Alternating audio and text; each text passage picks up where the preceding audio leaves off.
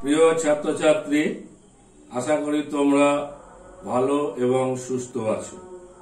আজকে তোমাদের জাতীয় স্বার্থে প্রকৃতি নিয়ে আলোচনা করব।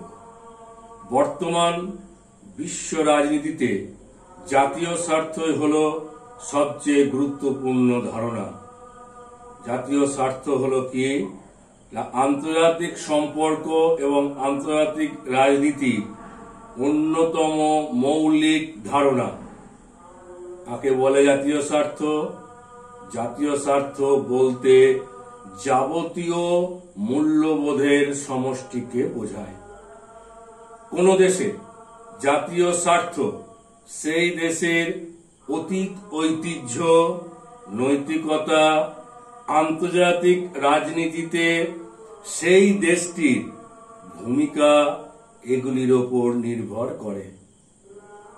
এর মুখ্য প্রয়োগকারীরা হলেন কোন রাষ্ট্রের নেতৃত্বস্থানীয় রাজনৈতিক ব্যক্তিত্ব কিংবা ক্ষমতাসীন রাজনৈতিক ব্যক্তিত্ব, কখনো বা শাসক গোষ্ঠী। জাতীয় স্বার্থের প্রকৃতি আলোচনা করতে গেলে আমরা কয়েকটি দিক থেকে এটিকে আলোচনা করব। সেগুলি কি?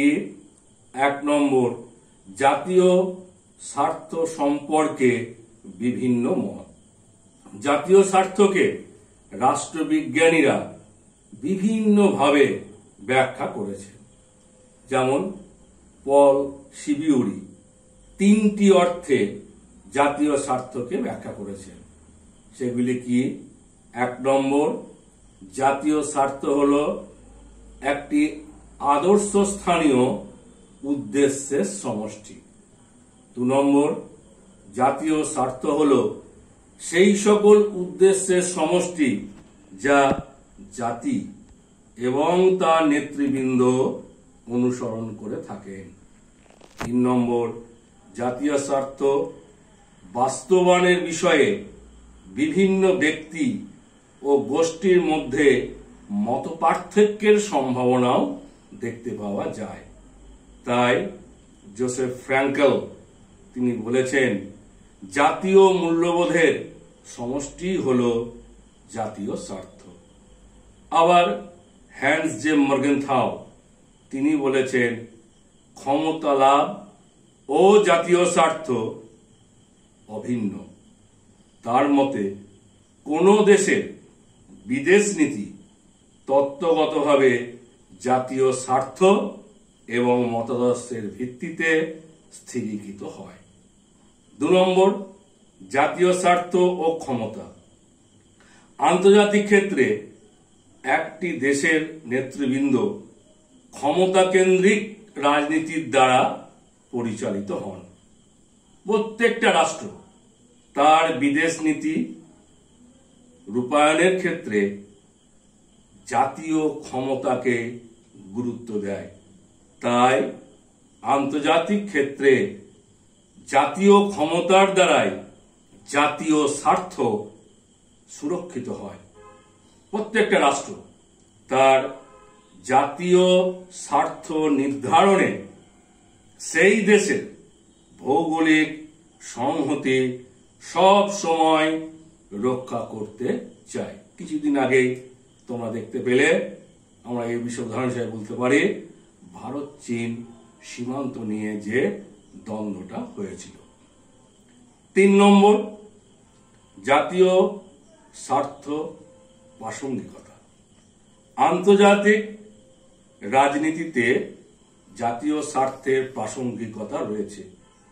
জাতীয় স্বার্থ বিশ্ব রাজনীতির মুখ্য নির্ধারক, বিশেষ করে বিদেশ নীতির যাত্রা শুরু হয় এই জাতীয় স্বার্থকে কেন্দ্র করে।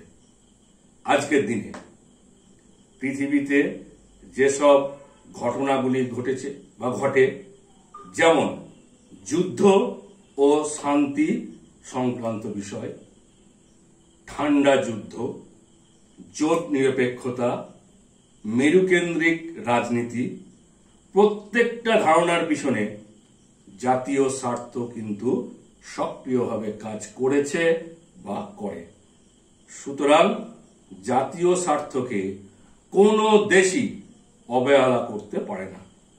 জাতীয় স্বার্থের পরিপ্রেক্ষিতে একটি রাষ্ট্র আন্তর্জাতিক ক্ষেত্রে দর কষাকষির যে রাজনীতি, সেখানে কতটুকু লোকসান করল তার হিসেব কিন্তু সহজেই করা যায়। একটি দেশের জাতীয় স্বার্থের মধ্যে ভৌগোলিক অখণ্ডতা রক্ষা, দেশের নিরাপত্তা, দেশের সার্বভৌমত্বকে সুনিশ্চিত করা, জাতীয় উন্নয়ন, অর্থনৈতিক ক্ষমতা, সামরিক বাহিনীর ক্ষমতা, জাতীয় মূল্যবোধ এই সমস্ত বিষয়গুলি জড়িত থাকে। তাই বর্তমানে পূর্ণমাত্রায় জাতীয় স্বার্থের প্রাসঙ্গিকতা দেখতে পাওয়া যায়। কোন রাষ্ট্রের পক্ষে তার জাতীয় স্বার্থকে অবহেলা করে বিদেশ নীতি রচনা করা কখনোই সম্ভবপর নয়। বিশেষ করে জাতীয় ক্ষমতা তার ওপর ভিত্তি করে জাতীয় স্বার্থের চাহিদা, এটা কিন্তু নির্ধারিত হয়। অনেকে জাতীয় স্বার্থকে অস্পষ্ট, অনির্দিষ্ট এবং আপেক্ষিক বলে সমালোচনা করেছেন।